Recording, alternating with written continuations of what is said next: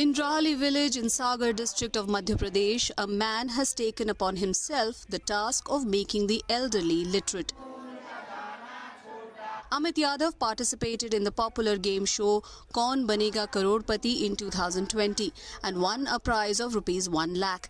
He decided to use that money to buy a digital projector which he started using as an aid to teach children. Now he is using the projector to teach the elderly.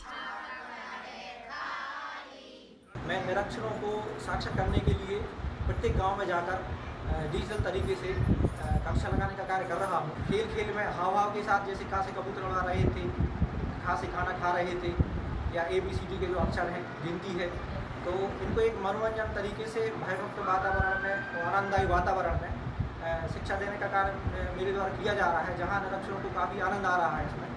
और वह शिक्षा ग्रहण कर रहे हैं और इस पहली बार में ही बहुत से निरक्षरों ने साठ साल से ऊपर के जो निरक्षर हैं उन्होंने ए बी सी डी से पूरी स्लेट में लिख के उन्हें बताई हुई है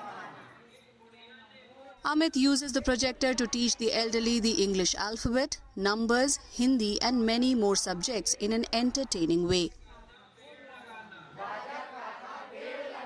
अब मासावा उठे सिखा रहा है का कबूतर को माँ मछली को और अंग्रेज़ी हिंदी में और टीवी में जो कछुआ बता रहा है सो हम सीख रहे हैं समझा रहा है Amit says he uses the same material to teach adults which he used to teach children.